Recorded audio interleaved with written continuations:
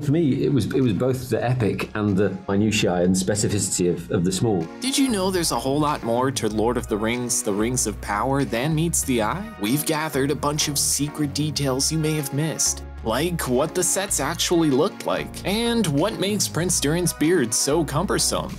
Number 1. No stone was left unturned. Everything including Galadriel's dagger was taken into account for the Rings of Power series. Every character, set, and wardrobe design was made so specifically to immerse the actors and audience into the imagined Middle-earth. Daniel Weyman was costume designer struck when he realized he was getting lost in one of his co-stars' outfits. Hold on, there's, there's that thing that I never spotted before, and then, but within that thing, there's another thing, and everything has meaning. We're gonna get into the sets next since everything is so infinitely detailed. But now we can start to realize why this production clocked in at nearly $500 million to make.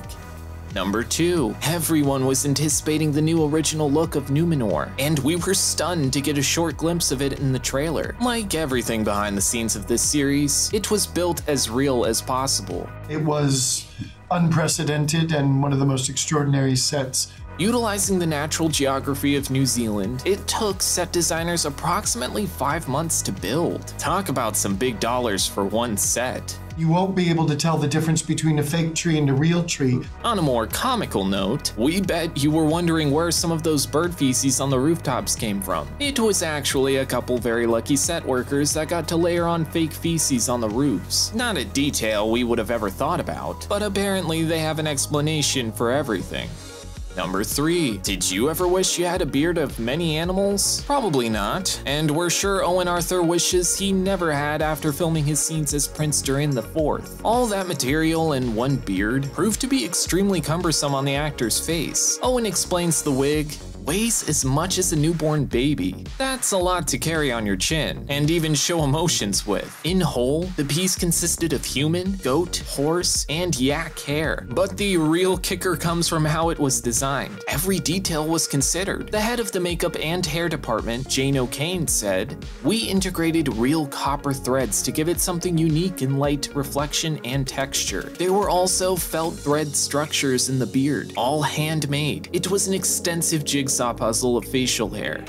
Number 4. When we say things needed to be specific, we weren't just saying all the things that would be noticeable to the audience. Production's attention to detail went all the way down to the very leaves placed on set. Be meticulously moving a leaf and making sure it sat in the right place. We never thought leaves would be so interesting, but knowing that even a simple leaf placement made a huge difference on the production makes us rewatch it even more.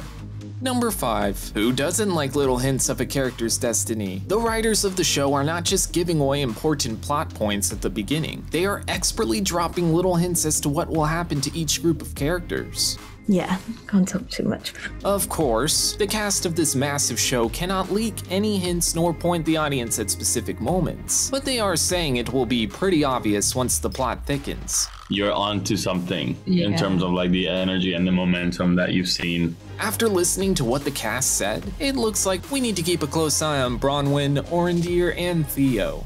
Number 6. Working on location in New Zealand is a privilege for the actors and crew, making performances and moods better. New Zealand, where you just can, anywhere you go, you can be inspired by the landscape. This country's fantasy and malleable-like landscape made it the perfect location to build Middle-earth into. For the actors and crew, it was extremely hard for them to remember they were on the actual set. It wasn't like you saw the behind of the thing. There were layers upon layers upon layers of things that were carefully crafted. And for a show of this caliber, you'd think CGI would be a major factor. However, for show creators, practicality was key for their sets. Most of our sets were built, so we were actually there.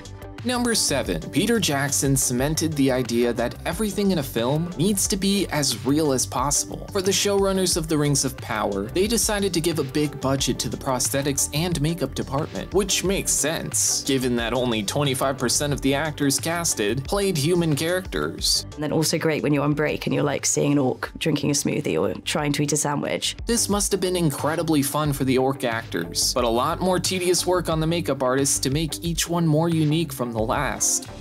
Number 8. You may have thought the elves were always graceful behind the scenes. However, those small details in Morfydd Clark's Galadriel costume caused a lot of trips and choking. People were constantly stepping on my train, on my cloak, so I was getting slightly strangled. But it seemed like for many of the actors, who were donned in some sort of armor or prosthetic, were left catching themselves falling to the ground. Just listen to what these poor hobbits had to say about their hobbit feet slippers. There were people slipping everywhere.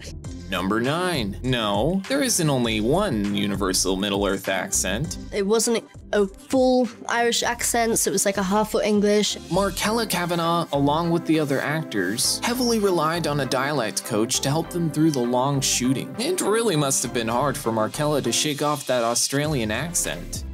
Number 10. You'd think a nobleman like Kemen would do anything for the cause, without asking questions. But for the actor, Leon Wadham, when asked to make his life of the DP easier for a scene, he became very reluctant. But at the same time, I would like to look cool doing this. All he had to do was switch up his horse riding style to hold the light in his dominant hand, which actually turned out to make more sense for the character. That actually helps with the story because he's out of his element. Number 11. Sara Zwangobani and many other cast members spent hours in the makeup chair. So the best way to pass the time? Singing songs, of course. Being a hobbit means putting in the work for prosthetics and makeup. But Sara knows how to turn a boring time into a song-filled one. She explained, Actually, we had a lot of fun in the makeup chair. Two and a half hours sounds like a long time, but actually, we had a great time. So it was like no time passed. Number 12. Being far away from home for anyone is hard, especially if it's for years at a time. As the Rings of Power were at one point, the only show shooting in the world during the pandemic, this meant that the cast could not see their families for almost two years. But this experience, as hard as it was, proved to be a major milestone for the cast's relationship as a whole. Nazanin Boniadi said, we filmed during a pandemic, a global pandemic. It was difficult because we were away from loved ones for almost two years and our support systems. But what that did is it sort of forced us to lean on each other, and that is a bonding experience like no other.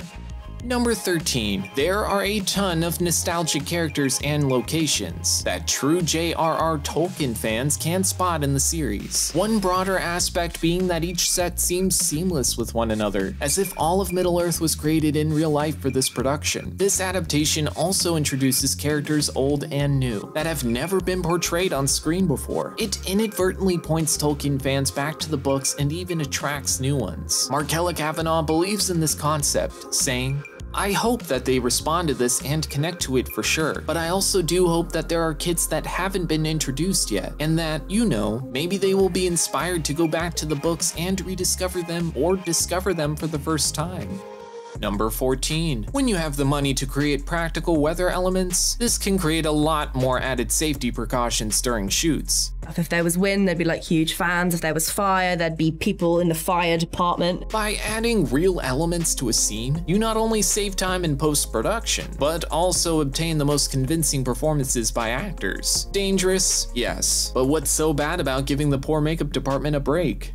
Number 15. One would never think a scene like this would be the most difficult to shoot, but when you have elves mixed with dwarves, it is going to be tough matching them up. Executive producer Lindsey Weber says the hardest scene to shoot was the Elrond and Dwarf Prince during the Force Rock competition, because of the fact that they had to cheat the camera a little to make the dwarves seem much smaller than their counterparts. All the calculated math made for a tough time. As Weber likes to put it, it is probably the single most complex and technical thing we shot, which you wouldn't think because it's a bunch of guys walking around the room, but most of them are meant to be one size and one is meant to be another, and that is a very complicated math problem. We're not saying we do anything to be in the Lord of the Rings show, but we definitely power through the crazy sets and heavy beards to be an extra in this one. Maybe our detective skills surprised some of you viewers. Were there any secrets that you spotted while watching the series? Tell us your findings in the comments section below.